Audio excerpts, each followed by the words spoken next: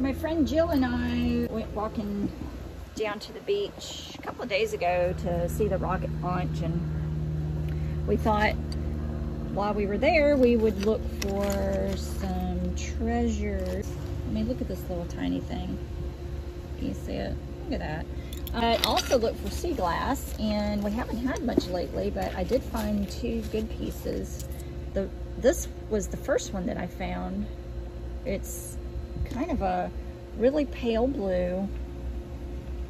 I just love it. And I think what I'm gonna do today is try to get as close to this color as I can for my next project. So let's get started. I already mixed up my resin. And my silicone cup. I'm using Liquidy Split, the fast set from KS Resin love that stuff. I need to get some more. I wanted to show the difference in color. This is a piece of white, of clear glass that I found a while back, I guess.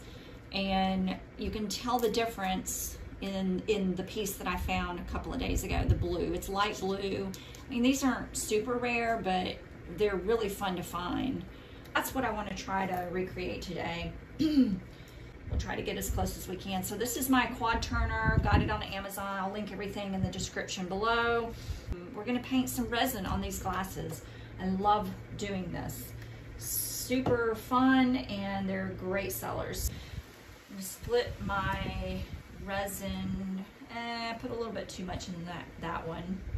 So I'm gonna leave a little bit in here for my white. I do want white. Gotta work fast. So this is um, this is KS Resin liquid resin dye in turquoise. I love this color. It is so, so cool. Don't need much. And the nice thing about the liquid dyes is that you can add more or less just depending on what you're going for. It is such a nice color. And the other cup is a mica powder from Seisso, S-E-I-S-S-O. I will put a link in the, in the description. Got this on Amazon. It's just a really nice color here. And I'm not gonna add much. I, I don't want a really deep, deep color. So I'm gonna mix it and that's going to give me more of a aqua. I thought I would add a little bit of this, I think this is pearl white. I think I want to add it to that resin dye cup with the turquoise. I'm going to add a little bit in there. It's kind of, it's a really pretty, I don't even know where I got this, but uh, I got it on Amazon. It's just a pearly, white. I don't know if that's gonna make any difference, but I've never tried it, so I'm gonna try it. All right. And I should have put a glove on this hand, but we're gonna go with it. So my white, not uh, KS resin. I should have gotten KS resin in white when I bought the turquoise, but I didn't because I had already had this one and you don't need much in the cup because we're just gonna add highlights. Let's see, yeah, that's good. Actually, I like to make a matching set, but I only had three of this size and one of this size. So this is how I do mine. This is a little Lazy Susan, so I kind of have to hold it. I'll show you why I like this in just a minute. I'm just putting on my resin and I'm getting messy with it right now. I think I might more of this than the aqua. I do not go all the way to the rim only because I really want to get a solid resin layer on that top. And if I go all the way to the rim, sometimes I'm left with resin resin residue, so you can see right there, on the very top, and then you have to, you know, scrape it off. You leave a rough edge. So this is why I like this little Lazy Susan, because I can spin my turner. This is an organic edge, and I know some people might might not like that, but in my area, this is what I sell the most of are these glasses with the organic edge and the cool colors and beachy colors. I mean, these are all beachy colors. This is what is popular. So this is what I make. And this may not be popular in your area, but this is my jam here. So I'm trying to scrape out all of the color that I can. All right.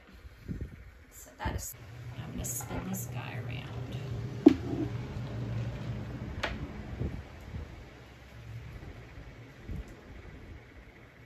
Oh, my resin is definitely heating up. I can feel it, but it's still good. Oh, I really like this color.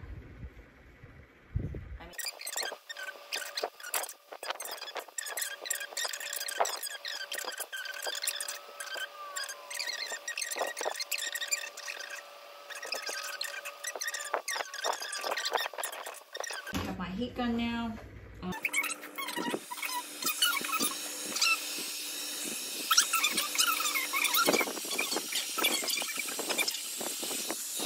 So my white, what I'm gonna do here, I'm not, I think I just wanna add lines. I don't think I wanna do a wave. I think I just wanna add some organic-y little lines here. I just love this white.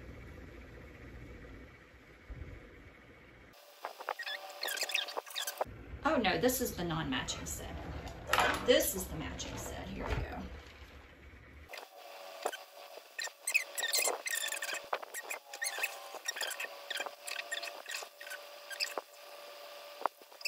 I do want to try to move some of this white on these two and then I might look at these.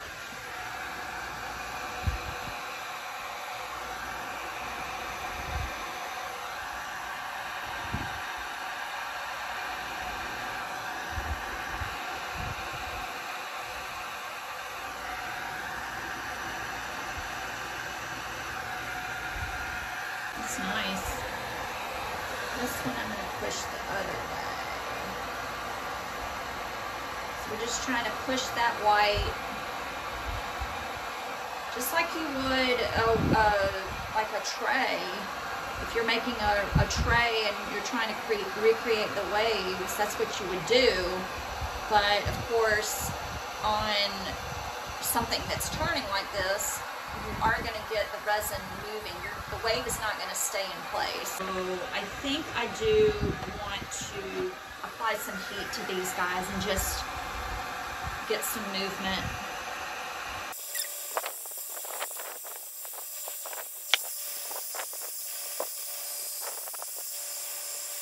I'm liking it. I'm liking it. Really liking it. Really liking this. So I wanted to, to show something else too that I sort of discovered quite by accident when when we lost power for just a minute and my, my turner stopped. And I was panicking thinking I'm gonna have four cups that I'm gonna be wasting. But the power came back on. But what happened in the couple of seconds that the power was off, the resin starts flowing down. When the power came back on and I then the turner st- started working again, I started getting these really neat little, almost like hurricanes, like little whirlpools. So I'm gonna turn this side off. Just watching for the resin to start pulling down.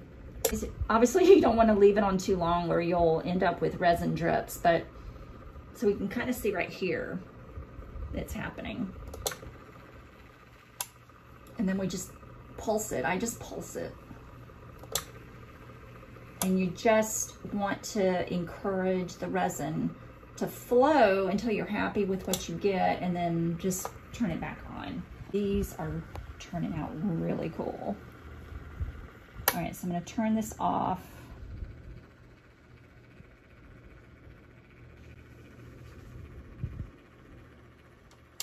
Turn it back on. Oh yeah, there's the little whirlpool happening there.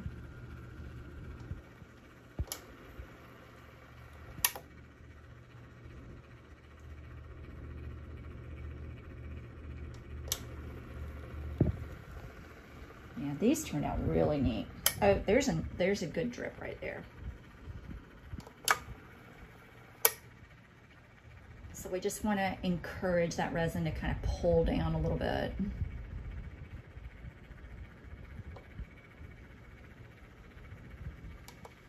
Always being careful of the bottom. There's another good one. See, that looks like a wave. That looks like an ocean wave right there.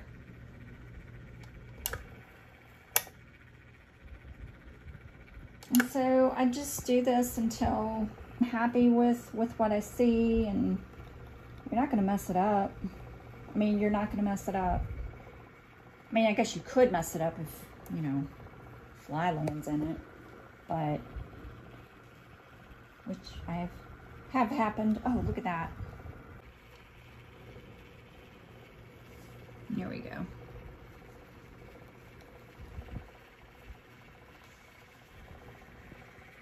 clean that edge. All right, we're gonna let these spin.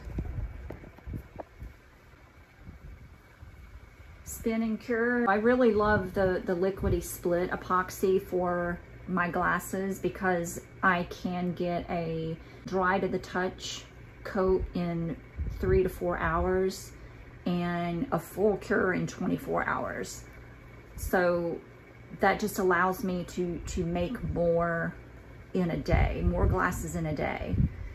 I do want to try more of the liquid resin dyes from KS Resin. I have this turquoise, absolutely love it. Anyone at KS Resin wants to send me some to try, wouldn't be turning it down.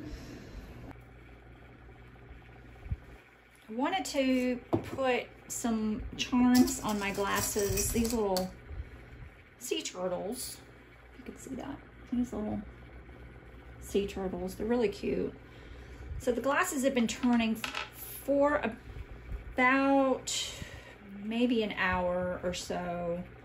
The resin in this cup is really set up. It's still workable where you could use it almost like glue. Um, that's what I'm gonna do. I'm just gonna take a glop of it, put it on the back of my turtle. It's in, you know, the same color as the glass, and I'm just gonna find a spot uh, maybe where there's a little bubble that didn't pop or just a place that seems like a good spot. And I'm gonna put him right there. Obviously you don't want it close to the rim because that's where somebody would put their mouth. I love these little charms. They're really cheap on, honestly, I think I got these at Temu. Uh, don't remember. Just enough to put one on each glass. These are big sellers. They're very popular. It, really anything with a beachy theme does well in my area. Right there. And see, it just kind of sticks on there. It's almost, it, it is like super glue or like the um, E6000. And I could use E6000 after these have set up. But I just like to, to use the, the resin that's been sitting and just has a really good tack. Blends in, you don't have to worry about the E6000 dripping on anything. Let's put this guy right here. See, those are cute. It's perfect. It's just a little something extra. All right, I'm gonna let these guys sit some more. I took a break to go to Aldi, get some groceries. There's a Joann right next door and I can't believe I'm not going in. I need to get back home and look at these glasses. All right, these have been turning for about six hours. They are dry to the touch. They still need to cure, but I'm gonna go ahead and take them off the turner. And, oh, that is so nice. That is just perfect. I love that color. Oh, I just love that color.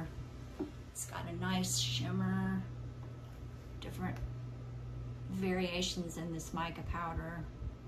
I really love that one. Let's get this one. Sometimes the pool noodles are tough to get out and I put some paper on the outside of the pool noodle before I put it in my glass because I wanted to be able to see the color. Look at that. The the pool noodle is blue, so I wanted to be able to see some contrast. See if I cut the pool noodle a little longer, like that one. I love it. Love that. Love it. Remember, this is my mismatch set. Oh, very cute. Very, very cute. I'm happy. Put these in, in my next craft show for sure. Thank you everyone for watching. These are the finished glasses. And then the inspiration right there. This little guy will be going in my beach glass collection. Back with this one. Appreciate you watching. Hope you learned something new. Thanks for supporting my channel.